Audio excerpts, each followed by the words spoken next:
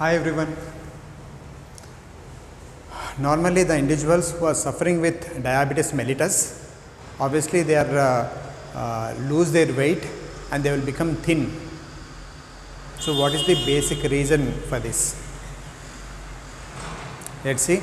Today we are going to discuss about the insulin. Insulin is a hormone secreted from our pancreas. So pa- pancreas normally it has two types of uh, cells, acinar cells which will secrete this digestive juice and uh, uh, islets normally is consisting of alpha cells, beta cells, delta cells and PP cells. Okay. Alpha cells are responsible for the producing this uh, gluco- glucagon, beta cells insulin, delta cells somatostatin and PP cells pancreatic polypeptides. So, normally glucagon these are going to be increase the blood glucose levels whereas B cells uh, insulin is going to be reduce the blood glucose levels. Somatostatins these are going to be control the secretion of this alpha and beta cells and the pancreatic uh, polypeptides is going to be has the control various uh, gastrointestinal secretions. So, these are the various uh, cells and their secretions. So, this is the schematic representation of the digestive system. So, where the pancreas is going to be there. So, pancreas islets consisting of these. Okay. So, normally the cells uh, these uh, beta cells are going to be secrete the insulin. Insulin is first discovered by the uh, Banting and Best in 1921. So, here uh, if you see the structure of this uh, insulin, it is 51 amino acid long. So, which consisting of uh, chain A and chain B, chain A consisting of 21 amino acids and chain B consisting of uh, 30 amino acid which is uh, bonded with a disulfide bond between these two chains. Okay. So, normally these are going to be stored in the granules of the beta cells. So, this insulin uh, first uh, uh, they used to uh, take it from the cow. So, that is called as bovine insulin. Bovine insulin because it causes some anaphylactic shocks. So, then we will shift it to the uh, porcine insulin. So, which is isolated from the pig.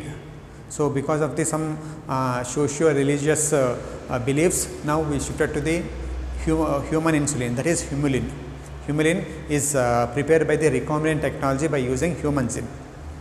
Okay. So, normally this uh, the drugs will be given uh, by the intramuscular, subcutaneous or intra intravenous routes. It has the good distribution, it's a, it can distribute uh, like free or plasma bound.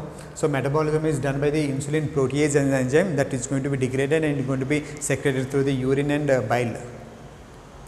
Okay. Uh, the symptoms of uh, the diabetes is normally the polyuria, the polydipsia, the individual is going to be feel thirsty, polydipsia, increased cholesterol in their systemic circulation, ketosis and decreased healing, retinopathy, nephropathy, neuropathy.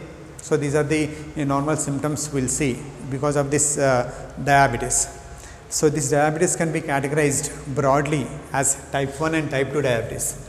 Type 1 diabetes is also called as insulin dependent diabetes and type 2 is non insulin dependent diabetes. Okay. So, in the, for the treatment of diabetes uh, insulin dependent diabetes we will use different types of insulin. Okay. Whereas, uh, non insulin uh, dependent uh, diabetes will use various uh, chemicals that will stimulate or increase the sensitivity of these cells to the insulin. Okay. So, normally what happens these insulins are going to be because of the hypersensitivity. So, there will uh, autoimmune disorders. So, these cells may destroy.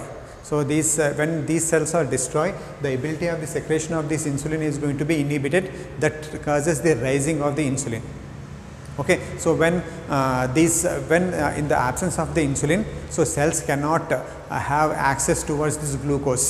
So, though there is a high concentration of the uh, glucose there in our plasma, but still our cells are not able to uptake this glucose. So, because I mean because of the lack of the insulin. So, normally we will uh, will uh, adopt that alternate pathway that we are going to get the energy from the adipose tissue and uh, proteins.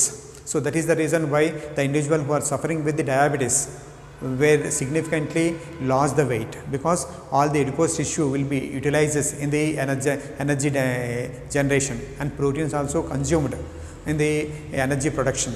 So, whereas glucose though it is there we can uh, the cells cannot uptake this uh, glucose. So, since that uh, the most of the glucose is going to be eliminated from the urine. So, here that is why it, is called as madhumeha. Okay. So, here the uh, sweet uh, taste urine is going to be produced by those individuals. Okay. If you see this mechanism action of this uh, insulin, insulin normally bind to the, the insulin specific receptor so, and it activates the insulin receptor subunit. So, in, uh, insulin receptor subunit is going to be get phosphorylated and initially activate the phosphorylation cascade that uh, uh, enhances the glucose transport uh, protein. So, that will uh, intracellular glucose transport protein is going to be expressed over the cell membrane. So, that enhances the uptake of the glucose from the outside. Apart from that, these are going to be enhance this MAP kinases, which will act as a translocating proteins. So, these are going to be initiate the transcription and translation. Uh, those uh, uh, is going to be prepare the essential protein that is helpful for the cell proliferation and differentiation. And moreover, phosphoenol pyruvate is going to be activate a specific enzyme that will uh, ultimately helpful for the cell proliferation and differentiation. So, this is uh, this is how the insulin is going to be work. So, here depending on the duration of action the insulin can be categorized into short acting. So, this is uh, said to be the plain insulin. So, this is onset of action is 30 minutes and duration of action is 6 to 8 hours. Whereas, intermediate uh, acting insulin, so this is insulin and zinc chloride combination. So, this onset of action is 1 hour and duration of action is 10 to 12 hours. Next long acting insulins, these are the combination of the uh, specific protein called as globulin, zinc and insulin so, here onset of action is 3 to 6 hours and duration of action is 24 to 48 uh, hours. So, normally by giving this insulin depending on the condition of the individuals, so we can treat the type 1 insulin dependent diabetes mellitus. Okay. So, again uh, the second category is non-insulin dependent uh, diabetes mellitus.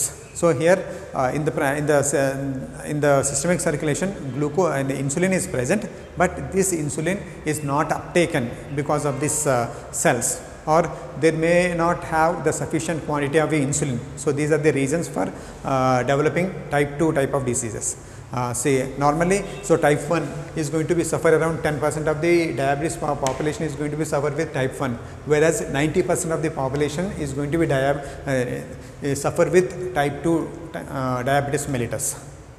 Okay. So, if you see this uh, the drugs that act on the type 2 dia diabetes mellitus. So, insulin resecretogens. So, these are the agents which will increase the secretion of the insulin. So, here normally a glipizide, glimepiride uh, is a category of sulfonylurea and uh, meglitinide analogs are going to be used in this uh, increasing secretion of uh, this uh, insulin.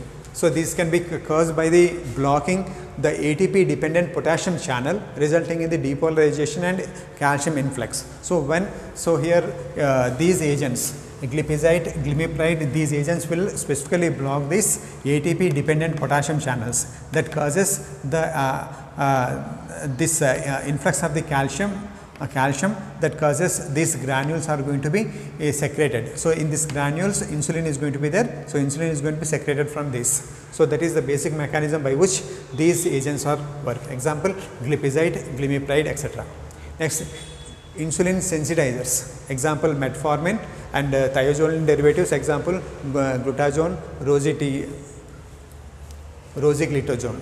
So, these are the agents uh, normally decrease the hepatic neogenesis. So, the glucose which is uh, prepared from the uh, hepatis and uh, decreases the intestinal absorption of the glucose. So, and it will increase the peripheral glucose uptake.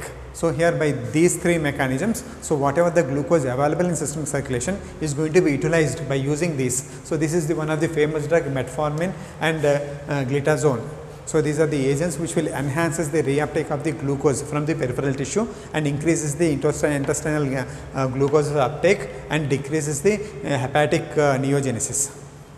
Okay. Third category is alpha glucosidase inhibitors. Example acarbose and uh, So, these are the agents that uh, uh, delays the carbohydrate digestion. Normally alpha glucosidase is required for the digestion of the carbohydrates to convert into glucose by blocking the specific alpha glucosidase enzyme. So, thereby the conversion the conversion of the carbohydrates to glucose can be delayed. So, the resulting of that the blood glucose levels are going to be decreased. So, this is how these uh, agents are going to be work.